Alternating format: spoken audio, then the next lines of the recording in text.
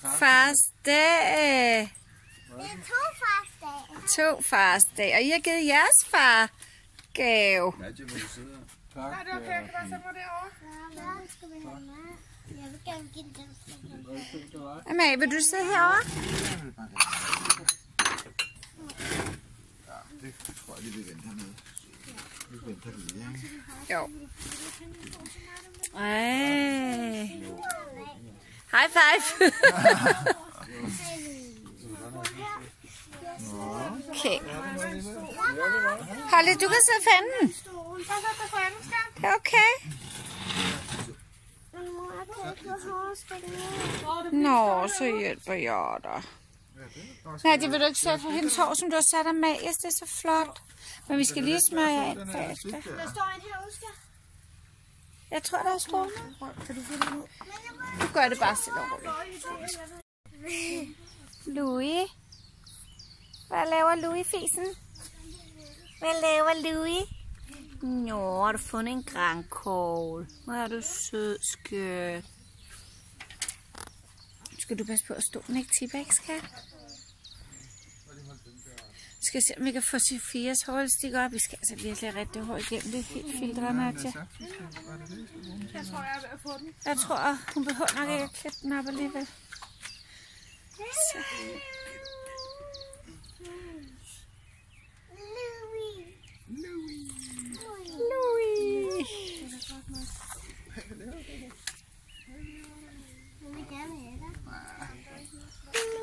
Kan du få den op, Nadja? Jeg. Godt, var du god, Nadja. Nej, jeg har fået den op. Skal jeg sætte den igen eller? Ja, du er så god til at lave sådan en knold. Så må vi altså ræge hendes hår igennem i aften med noget balsam. Måske give dem et bad. Ja, det er det. Åh oh, nej, jeg skal. Du er fars dag i dag. Så det skal jeg ikke lave noget af mændene. Så må du åbne din fars dagsgave. Amalie Sofia, nu åbner far fars dagsgave, så nu skal I kigge på far. Du må vente, Brian, til Thomas åbne, så må du. Fars dag til verdens bedste far. Åh, Gavekort står der til storbyferie i mange forskellige lande for fire personer i fire dage. ja. Ej, hvor spændende. Vi elsker dig, og vi glæder os til endnu et eventyr med dig. Kys din kone og børn. Ej, tusind tak. Det var så lidt. Storbyferie. Du kan selv vælge mellem 11 lande. Ja. Og så er det for fire personer, så det er jo selvfølgelig med mig. Ja. Og med ja, Sofia, vi skal ud og rejse igen. Men hvad med Carla? Far fik en rejse. Du ved godt, Carla bor snart hjemme, ikke? Eller Michelle. Har I lånt dit bold, Holly? Må jeg se det? Ja, jeg kunne ikke finde ud af at printe ud. Så jeg skrev det bare Kan du huske, var der London og... Jeg kan ikke huske det. Der var i hvert fald Berlin. Ja? Ej, det glæder jeg mig til. Det, var, det gør jeg også. det var så lidt. Nå, men så mangler du gaven. Det var så lidt. Der er ikke nogen smør med. Tak, nu ser jeg. Det er skuldre, ikke? Jeg må godt, hvad er det? Det var det, jeg tænkte. Det er plads. Ej, nu stopper I, når vi optager i to. Det skulle have været til dig. Det er svært at optage ud for solen. Hvordan er det? Jeg havde faktisk også tænkt på, at jeg skulle have nogle nye Ny hvad? badetøfler. Nå, okay. Han har allerede gættet det der. Nej, jeg så den her. Ja, okay. Ej, jeg havde ikke gættet det, skal Ej, hvor er det fint. Hummel. Hvor fint. Ej, det er lækkert. Og der var også De er rigtig flotte. Og jeg havde faktisk... Hvad siger du? der var der? Ja, Ej, de var også søde. Ej, hvor sejt. Ej, det er godt, når det er farsdag, var. Ja, jeg kan godt lide det. Det kan jeg Det godt kan jeg da godt forstå. vende mig til.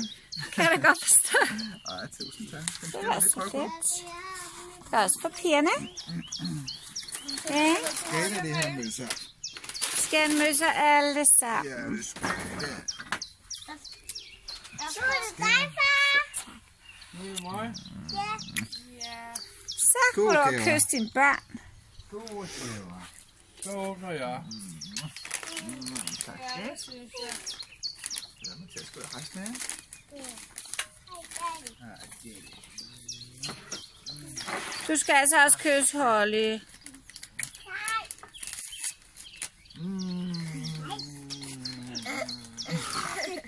Nå, hun vil ikke. Hendes far kommer nok og kysser hende. Ikke skal. skal ikke være generet. Nej. Jeg tænker også på det. Hvad fik du, Brian? Hygge. Åh, en sød kone, du har. Nej. Tak for det. Må vi se dem? Ej. Så fint. Så de er heldige, de fædre i dag, Nadia. Og tænk på, at de skal ikke lave noget hele dagen. Det bliver altså en hård dag for os.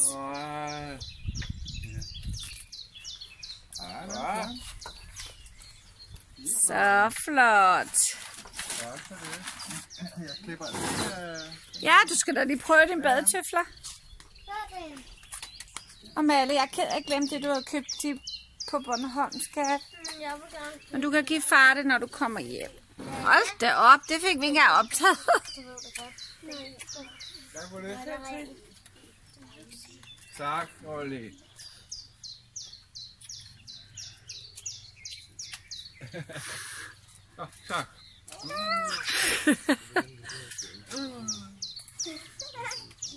Skal synes. De er så heldige, de fædre der, var.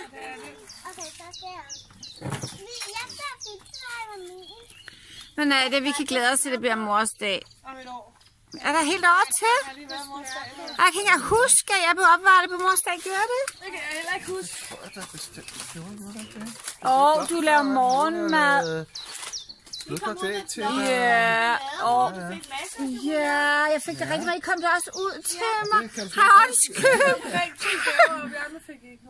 Ej, undskyld, det er rigtigt. Ej, undskyld. Jeg blev så forkælet på mors dag. Jeg har helt glemt det. Må jeg se? Ej, hvad er det fede. Ja, det Ej, det er fede skab. Ja. Ej, jeg trængte også til noget, der var Ja. lidt mere smart, ikke? Jeg synes, det er det kedelige bedste farsutter, du havde brune, sådan ikke? det bedste vej, ikke? Du skal da have sådan nogle lidt frække hummel der. Ja.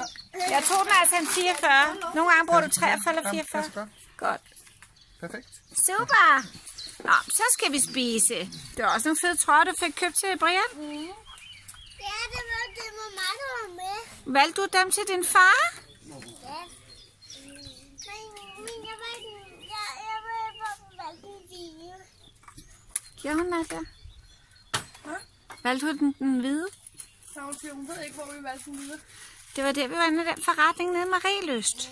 Og der var vi kigget på sko. Ja. Ej, hvad er vejret skønt i dag, Nadia.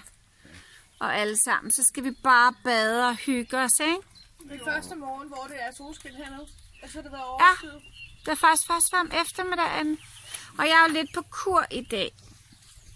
Efter alle de kager, jeg puttede i, i maven i går, der er jeg altså kur. Jeg skulle løbe med Thomas, og der er rugbrød til morgenmad til mig. Vi Det er den. morgenmad. Vi går til den. Ja, og Nadia skal med. Ja. Nadia, du skal jo med, at de andre spiser hvidt brød. Jeg Jeg spiser, altså vi lokker, Nadia. Nadia, du skal med. Hvad med dig, Michelle? I skal ikke med? Jeg må ikke tabe mig. Nej, Ja, det har du ikke. du er også gravid. Jeg er også 49. Jeg må ikke tabe mig. Jeg skal tage på og sige det alle sammen. Ja. Jeg er 45. Nadia. Vi skal jo løbe mig Nadia med Thomas. Og så kan Thomas have en kasket på. Ja, vi finder ud af det, ikke? Det er en hemmelighed. Åh oh, ja, det må jeg ikke sige højt. Jeg skulle til at sige det højt. Nej, jeg kommer lige til at tænke om det. Kan jeg sige hej hej? Hej, hej. Hej, tak for det,